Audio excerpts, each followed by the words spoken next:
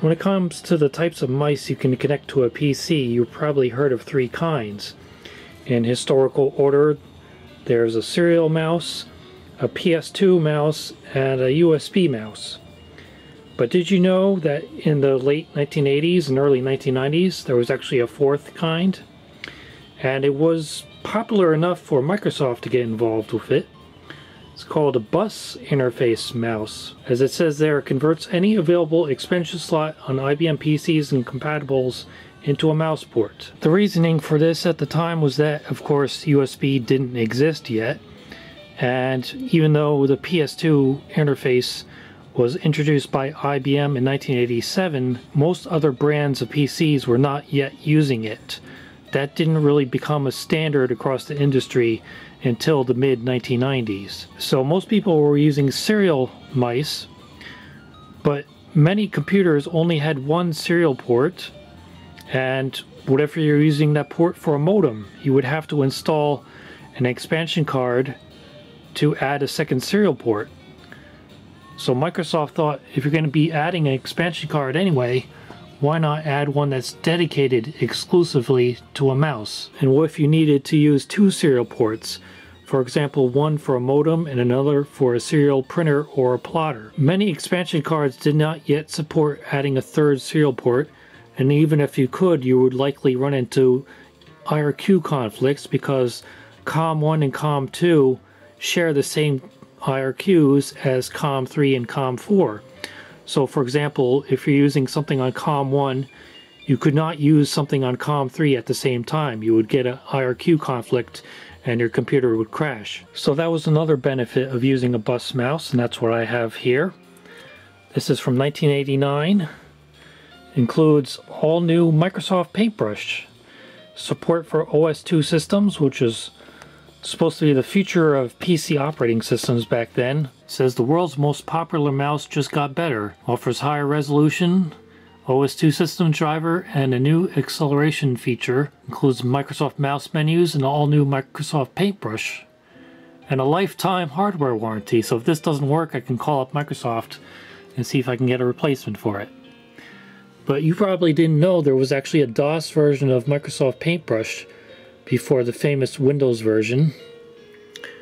Requirements MS-DOS or PC-DOS 2.0 192K available user memory, one double-sided 5 and quarter inch disk drive, and one available expansion slot. But if you're going to be using Paintbrush, you need at least 512K available memory, two disk drives, and a graphics adapter. And there it says copyright 1989, and it reveals the origin of Paintbrush as by ZSoft Corporation. So it was not something Microsoft came up with, they just took some other company's product and sold it under their own name. So let's take a look at what's inside the box.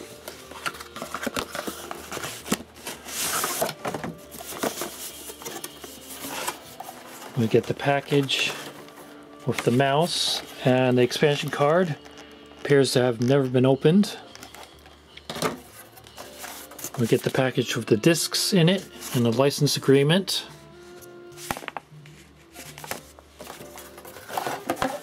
We get a free disc conversion offer because this has five and a quarter inch discs in it. So if you need three and a half inch discs, you can send this in to Microsoft to get free copies. they say print your letters and numbers like this because they're using some kind of early optical character recognition. Like the O, you can see has that little thing on the upper left to distinguish it from a zero. I doubt that would still be good. Now that you have your Microsoft mouse, add mouse support to all your programs. Programmer's reference. Because a lot of DOS software at the time did not yet support a mouse. And I guess this was for people writing their own programs. They could use this reference to incorporate mouse support in it. Limited lifetime warranty, but I don't know if this would even be good because I don't have original receipt for it. You know how companies are about that. If you don't have the receipt, you don't get your warranty. Get EasyCAD 2 for only $50. This may be the ideal 2D precision drawing package for general office use.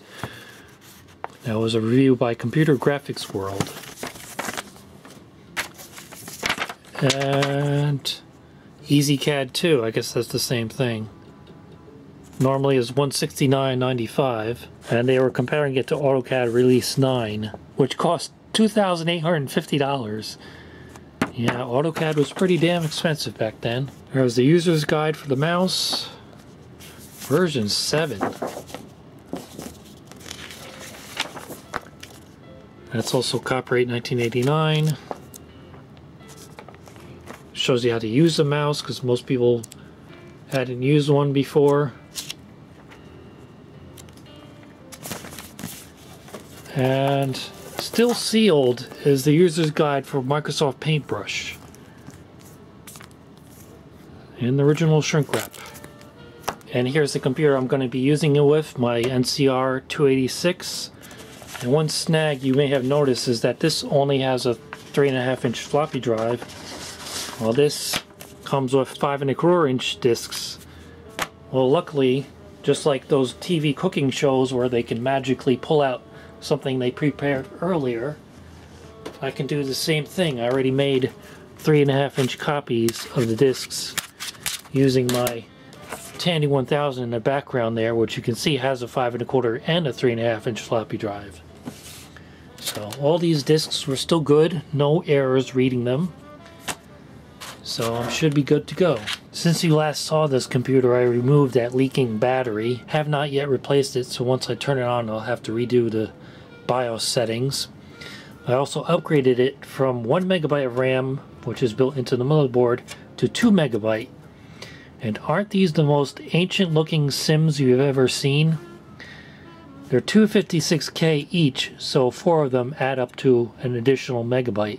I tried all the 1 megabyte SIMMs I have, and none of them worked in this computer, but these do work. And one thing I forgot to mention in my previous video about this computer is that it actually has a volume control for the internal PC speaker, which is this little piezo buzzer here. Well, that's the volume control for it.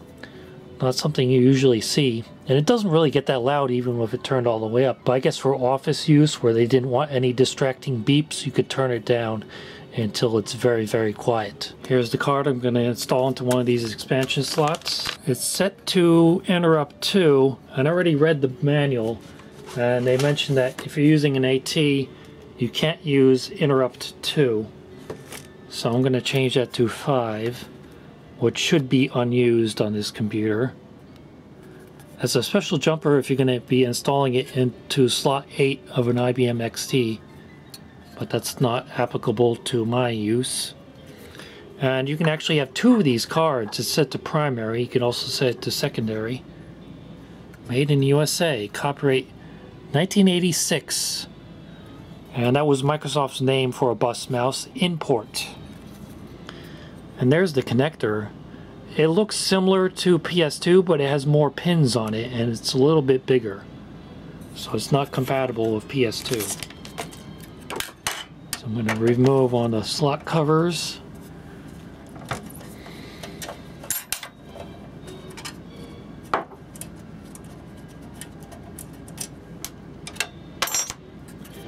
Put in the card.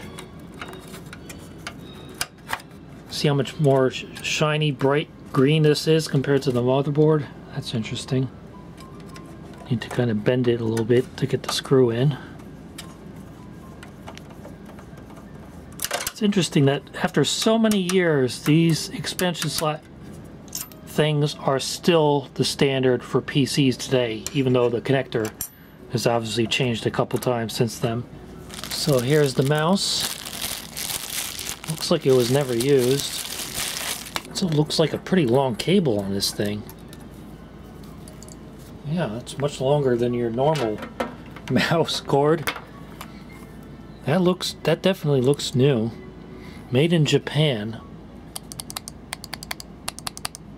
Buttons still have a nice click to them. So here's that connector you've probably never seen before. And I'm going to plug it into the card there. Just like that. I know it's not the most authentic thing to use a modern LCD, but Certainly is a lot easier to photograph than a CRT, especially with the 70 hertz refresh rate that VGA uses. So like I said, I'll have to go into the BIOS setup and reconfigure this. Okay, I got the settings configured.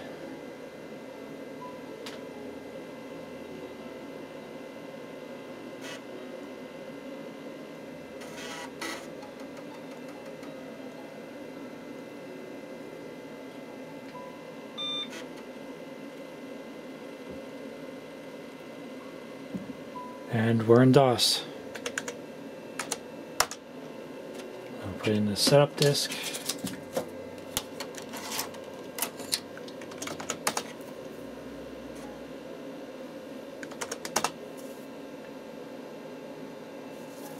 Okay, I don't know what to run here, so let me see what my options are. No batch files. M setup, that looks like a likely choice.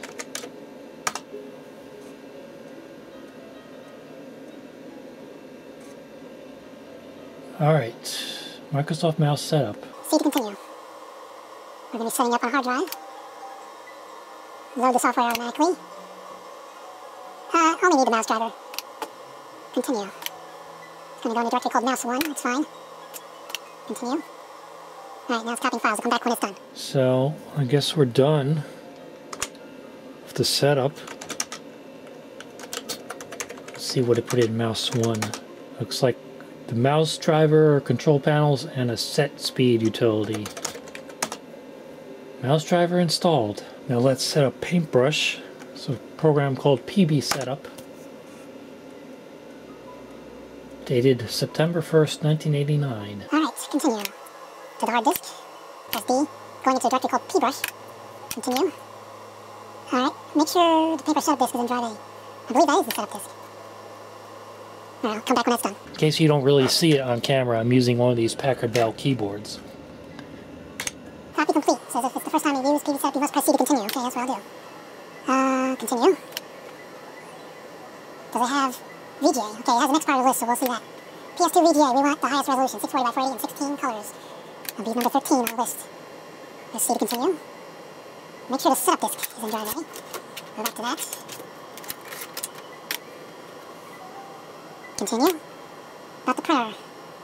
I'm not going to be using a printer, but I have one back there. You can just barely see it. It's a Lexmark printer, but it's supposed to be compatible with a HP LaserJet because it accepts PCL. So if I need a printer, I can use that. Continue. Does this have a LaserJet? There's a DeskJet, LaserJet. Series 2, that's good enough. Continue. Setup disk is in drive A. Continue. Printer port. LPT1. Continue. Alright, that's it. Type paint to run paintbrush.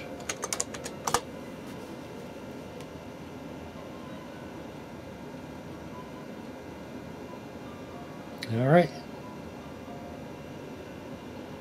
Ta-da!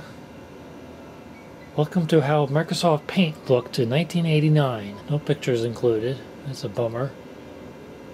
Create a new picture. Okay, let me get you a better view of this. Alright, let's create a new picture. 524 by 359 pixels. Or you could specify inches, centimeters, points, or picas. 16 colors, that was maximum back then. And this mouse is rather fast. Alternate layout, what's that?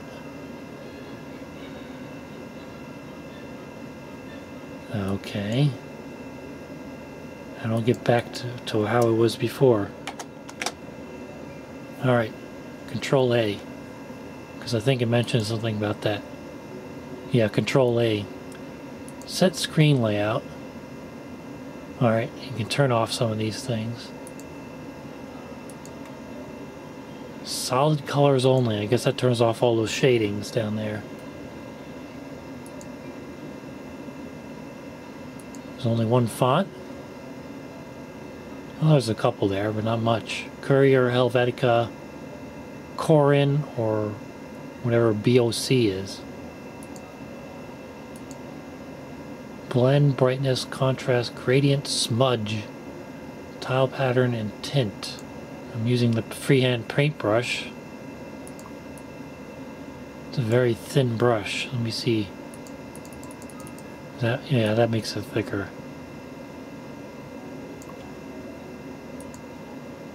What does smudge do?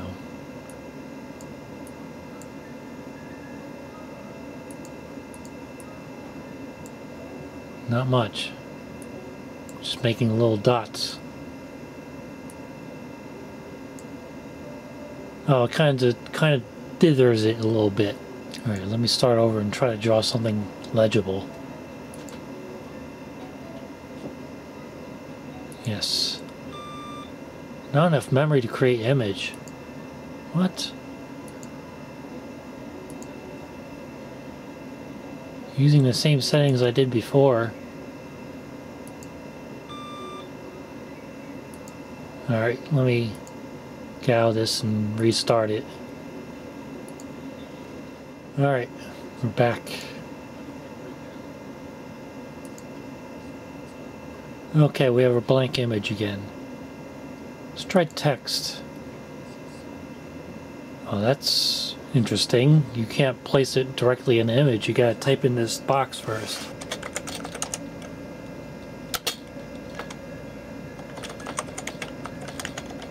Hello viewers. I was gonna say hello YouTube, but I post my videos on Vimeo as well. I didn't want to discriminate against the handful of people that are gonna be watching this on Vimeo.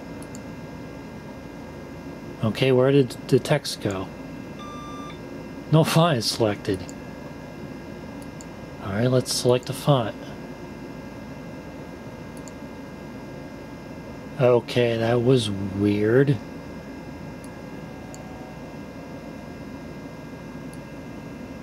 Why is it doing it vertically? Type style. Let's try centered.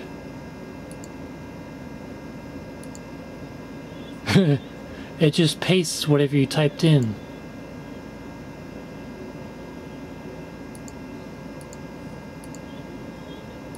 It's just making lines and lines of hello viewers vertically.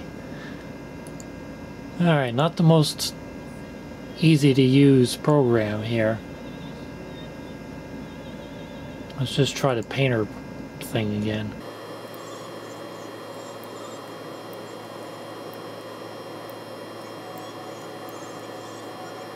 Not the most sensitive mouse here. Again, it's rather fast. But hey, it's working, and it's from 1989, so there's your demo of a brand new, almost 30 year old mouse working. And whatever ancient version of Paintbrush this is. Version 4. So I'm going to try to save this and load it in a modern computer and I'll paste it into the video. Because I think modern software can still read PCX files. Although I can also save it as TIFF. So I'll save it as PCX, and in case that doesn't work, I'll also save it as TIFF. There is Untitled PCX. They're actually both about the same size, although for some reason the TIFF file took a lot longer to save. So I'll copy those to a floppy disk and put it in my modern PC. So that's the Microsoft Bus Mouse from 1989. The Bus Mouse standard kind of hung around a little bit, but by the mid 90s, like I said, most PCs were coming with PS2 ports, so it kind of became obsolete. That's why you don't see them anymore. So here's that lovely image I created in Microsoft Paintbrush. I'll put it into the video and put a little music under it. So thanks for watching.